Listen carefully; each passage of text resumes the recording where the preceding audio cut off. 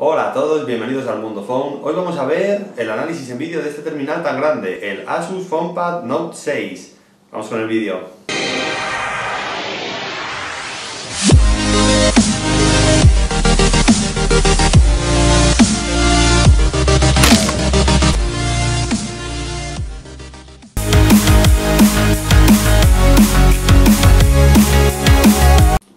Lo primero que notamos al ver el terminal es su enorme tamaño. Así que vamos con las especificaciones. En la parte de la derecha vemos el botón de encendido y apagado de la pantalla y debajo el botón de subir y bajar volumen un poco incómodo ya que es un terminal grande y se hace a veces incómodo. En la parte izquierda vemos el slot para tarjetas micro SD y para tarjetas micro SIM. Como veis es un teléfono unibody acabado en plástico, cantos redondeados y no vamos a poder quitar ni su carcasa ni su batería. En la parte de abajo vemos el micrófono y el conector para la carga micro USB que también nos sirve para conectarlo a nuestro ordenador. Además, en la parte frontal destaca eh, su enorme pantalla de 6 pulgadas y los altavoces que apuntan directamente hacia adelante. También tendremos la cámara delantera y los sensores de proximidad y luminosidad. En la parte de atrás vemos la cámara y el stylus, como veis, es un terminal bastante grande y destaca por no tener flash. Todo ello en unas dimensiones poco contenidas de 164,8 x 88,8 x 10,3 milímetros y un peso de 210 gramos, bastante pesado y gordito.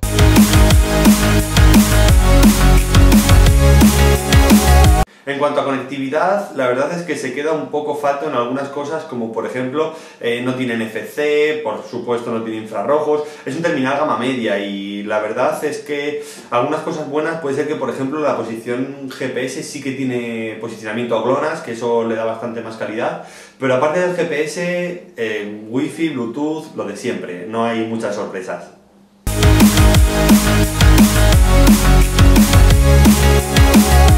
Al hardware de este terminal nos puede sorprender un poco su procesador Intel Atom Z2580, aunque no nos sorprende ya Asus implementándolos porque ya cada vez es más habitual que esta firma lo lleve. Tiene 2 GB de RAM y una tarjeta gráfica también de Intel, que es una SGX bastante normalita y no nos va a dar tampoco un rendimiento del otro mundo. Todo esto viene acompañado con una versión de Android 4.2.2 que vamos a ver ahora mismo.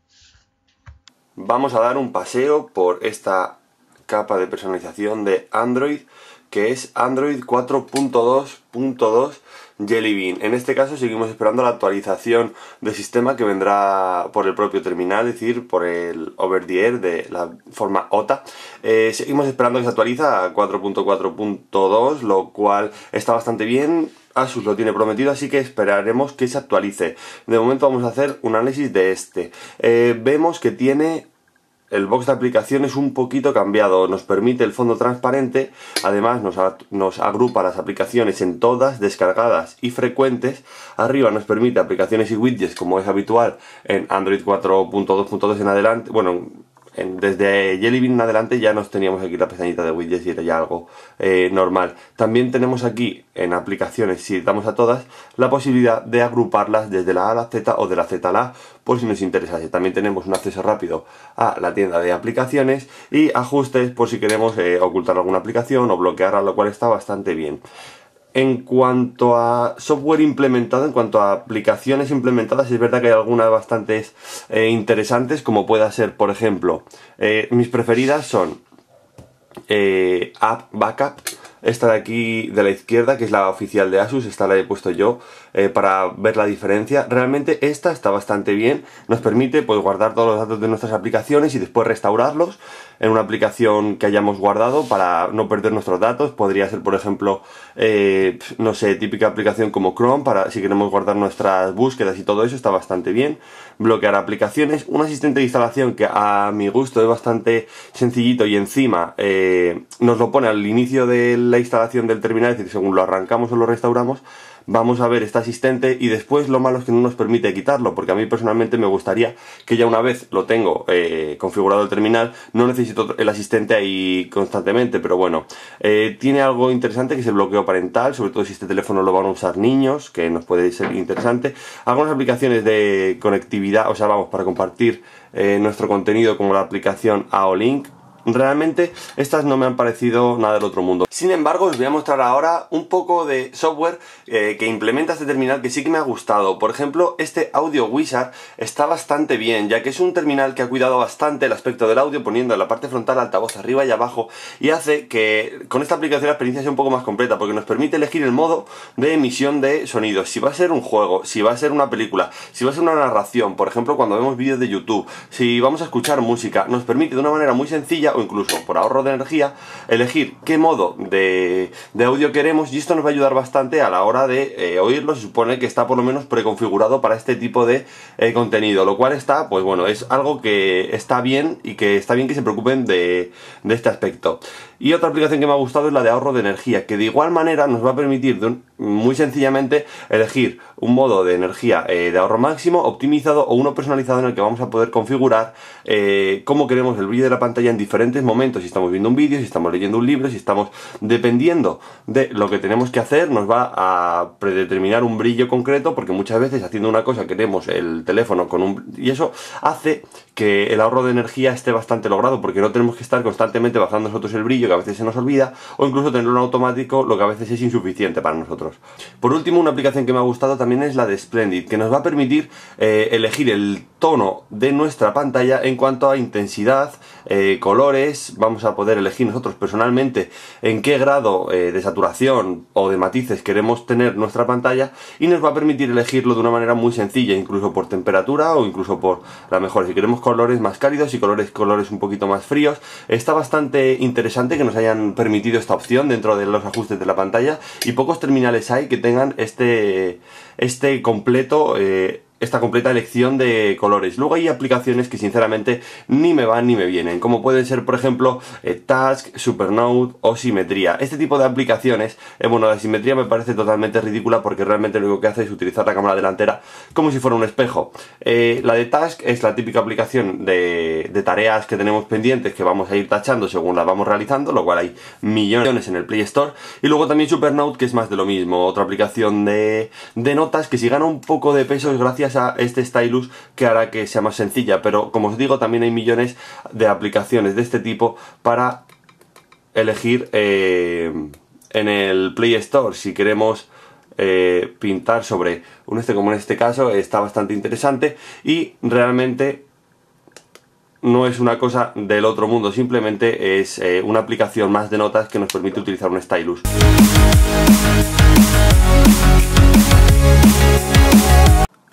Vamos a ver ahora qué tal navega por Google Chrome.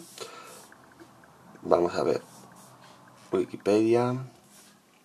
Mm, quiero poner...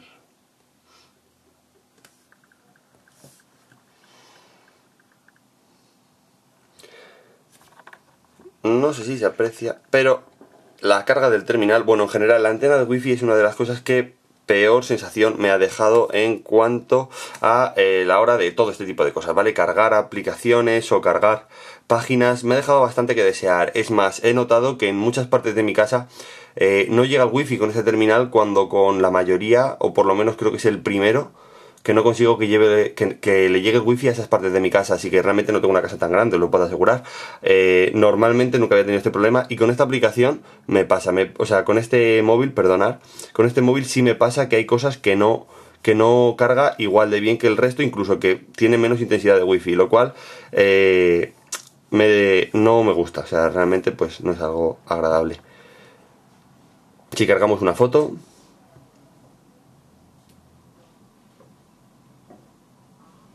como veis tarda bastante. Luego lo que es el, la pantalla, el uso del blanco está bastante bien, a mí me gusta bastante. Eh, la ampliación no es nada del otro mundo, el pinzo no es que sea lento, el móvil no es, no es, falta de rendimiento del móvil, es falta de, eh, en general, pues, por ejemplo, si no tiene una buena antena de internet, pues eso nos va a lastrar bastante. En cuanto al scroll, si os fijáis, hay un poco de, un poco de lag. Eh, ahí se ha apreciado más, yo creo que es... Em, la navegación no es la mejor del mundo y, sinceramente este móvil en este tipo de cosas el rendimiento es donde más lo va a sufrir. Vamos con la navegación en Maps. Ver posicionamiento, como es no es malo. Si pongo Brasil, por ejemplo. El posicionamiento no es algo malo, la verdad que está bastante bien. Eh, como siempre depende de, eh, de la red wifi, como os digo no es nada del otro mundo, pero, pero no está mal. No está mal. El posicionamiento GPS la verdad es que está bastante bien porque, como os decía, este terminal tiene eh, posicionamiento GPS normal y además tiene GLONASS, lo cual hace que el GPS por lo menos sea de lo mejor que tiene este terminal también. Así que como veis, este es un terminal que tiene bastantes puntos buenos, pero tiene algunos malos. Vamos a ver la carga de un vídeo de YouTube, por ejemplo este... Ah, nos sale un anuncio. Vaya, qué suerte. Bueno, ahí poniendo el volumen.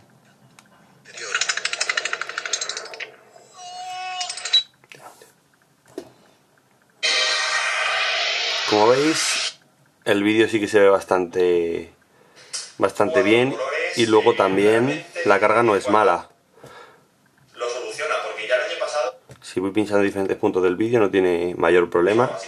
Como veis, simplemente deciros que este terminal tiene un rendimiento bueno en algunas cosas cotidianas, como pueden ser el correo, internet, ver un vídeo o utilizar el mapas, pero sin embargo hay otro tipo de rendimiento que es el de los juegos que vamos a ver ahora, que ese no está tan bien. Vamos a ver en este GTA San Andreas que salió para Android hace no mucho, que pasa si lo doy al play.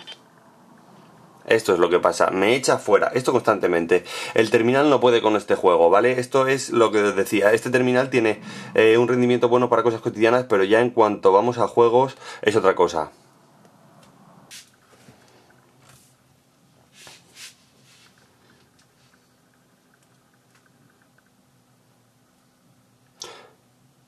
Vamos a observar en este caballero oscuro, el Batman, si lo doy a OK,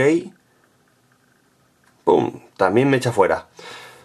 Esto es una constante, ¿vale? Hay juegos muy potentes que este terminal no puede con ellos. Como veis, no es una cosa que os diga yo, es una cosa que está ocurriendo. Vamos con el Die Trigger.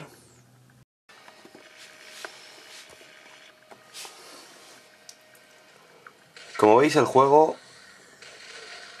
no lo mueve mal. Y cuando quiere entrar, entra. Pero el problema es ese, tampoco es que sea un juego que no tenga mucho requerimiento de gráficos, es un juego que está bastante bien. Por supuesto, si lo queréis para jugar al Candy Crush o Flappy Bird, por supuesto que este móvil lo va a mover sin problemas. Es este tipo de juegos que son un poco más exigentes los que vamos a tener que tener cuidado.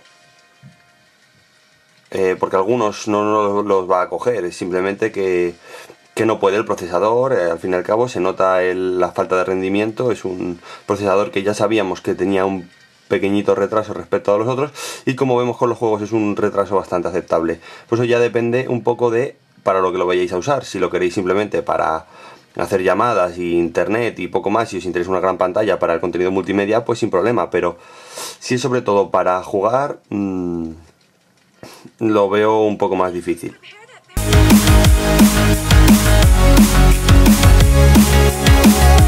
Vamos a mirar ya el aspecto multimedia de este terminal. Eh, realmente la pantalla me ha dejado muy buenas sensaciones, tiene unos colores bastante eh, vivos y como os he dicho tiene una aplicación muy interesante para poder, o sea, una aplicación bastante interesante aquí en todas, eh, la aplicación Splendid, que nos va a permitir ajustar el color y eso eh, creo que da una experiencia de pantalla bastante, bastante completa. Eh, sin embargo, otras cosas del aspecto multimedia no me han terminado de convencer. El sonido es verdad que está bastante bien, como os he dicho, es de lo mejor del terminal, seguramente, con esos altavoces en la parte de delante, pero como os decía, la parte de la cámara, la parte de las fotos es donde más pierde este terminal. vamos a ver Vamos a ver la interfaz de la cámara. Es una cámara bastante sencilla, nos permite, como veis, hacer fotos y grabar vídeo. Y luego aquí nos va a permitir diferentes modos, como el HDR, eh, modo de audio, dependiendo de lo que queramos. Tiene un modo belleza que es el típico que emborrona un poco la mirada y y consigue que el aspecto sea un poco mejor de, en la cara del S, pero realmente no hay nada del otro mundo. Yo lo dejaría en automático y ya está. Como os decía cuando grababa el vídeo de la... Uy, espera que enfoque. Vale. Como os decía cuando grababa el vídeo del análisis de la cámara, eh, cuando tú le das a grabar, este botón sigue estando encendido para tomar fotos, lo cual está bastante bien porque así vamos a poder tomar diferentes fotos en lo que hacemos una grabación. Así que en ese aspecto está cuidada la interfaz, me parece una interfaz bastante sencilla. Aquí tendríamos la cámara delante, la, eh, un pequeño gestor para... A ver que enfoque. Vale, aquí tendríamos eh, una aplicación para retocar nuestras fotos y aquí los ajustes que son los típicos en cuanto a exposición, balances y ese tipo de cosas tanto en fotografía como en esta y algunas rápidas como la ráfaga y ese tipo de cosas. Realmente no hay nada del otro mundo en este aspecto y de todas formas la cámara como os decía no está mal. A mí la cámara no me ha parecido mala en cuanto a que es una cámara de 8 megapíxeles y los sensores no son malos pero sin embargo eh, el que no tenga flash LED hace que las cámaras en cuando hay poca luz, o sea, cuando las fotos tienen escasez de luz, es bastante pobre y a mí eso realmente me ha dejado con muy mal sabor de boca.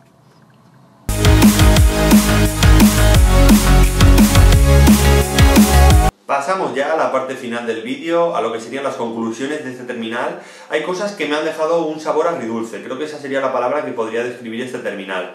Hay cosas que me han gustado bastante, pero se quedan a un poquito de ser un poco mejores. Por ejemplo, la cámara, que ya la analicé en otro vídeo, eh, está bien, la cámara es buena, no, no da mala calidad cuando hay luz suficiente, pero el que no tenga flash LED, por ejemplo, hace que cuando haya un poco de falta de luz ya haya una carencia de fotos increíble.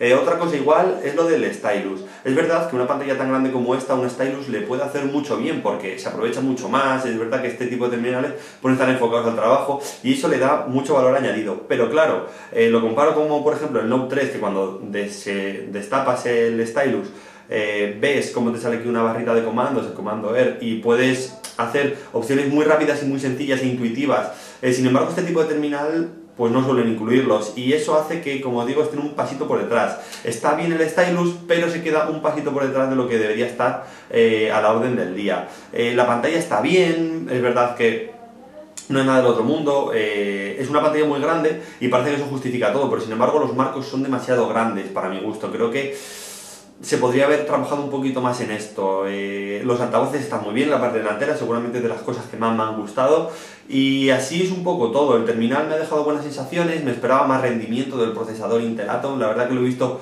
eh, sobre todo a la hora de jugar muy muy flojo y eso realmente tampoco me ha gustado mucho. Y otra de las cosas que podrían eh, estar un poco mejores es lo del sistema operativo. Tener Android 4.2.2 aún me parece un poco tarde para, estar actualizando el terminal, que es verdad que tiene prometida, o por lo menos os he leído, la actualización a 4.4, a KitKat, pero todavía seguimos esperando y este terminal sigue un poco atrasado, así que al final, como os decía, un poco sabor agridulce para este terminal, que si hay algo que tiene bueno es su precio. Si tenemos en cuenta que este terminal cuesta 330 euros aquí en España, eh, la verdad que hace que entonces lo vemos de otra manera, ¿no? Vale, son 6 pulgadas, ya tiene un poco más de competencia con otro tipo de terminales como podría ser el BQ 5,7, ya que este es verdad que tiene más pantalla, es verdad que tiene un stylus, eh, pero bueno, aún así ya ahí se mediría en gustos y en tipos, es verdad que el otro también es un terminal muy grande, como os digo, ahí ya son maneras de ver el, el aspecto de cada uno, pero en general creo que si no fuera por su precio sería un terminal totalmente de vamos, totalmente fuera de lugar. Ah, hubo un comentario que me hizo mucha gracia que decía que llamó al terminal vasto y feo. Y feo, bueno, igual lo de feo no lo comparto tanto, pero lo de vasto sí. O sea, la sensación al tenerlo en la mano es grande, es, exactamente esa es la palabra, vasto. Se les ha ido de las manos, es 6 pulgadas, yo no soy eh, eh, para nada contrario a las pantallas grandes, pero si están bien optimizadas. Una pantalla por que sí así de grande no me gusta. Así que bueno, eso ha sido el análisis de este terminal, del Asus FonePad Note 6. Todo lo que he podido deciros de este terminal es lo que acabáis de ver. Y como siempre, si te ha gustado el vídeo, no olvides darle al like para ayudarme a seguir haciendo vídeos como este y suscríbete si no lo has hecho ya. Además, puedes dejar todos los comentarios y sugerencias que quieras abajo en los comentarios y comparte el vídeo si crees que la gente debería conocerlo. Así que, como siempre, me despido. Hasta la próxima.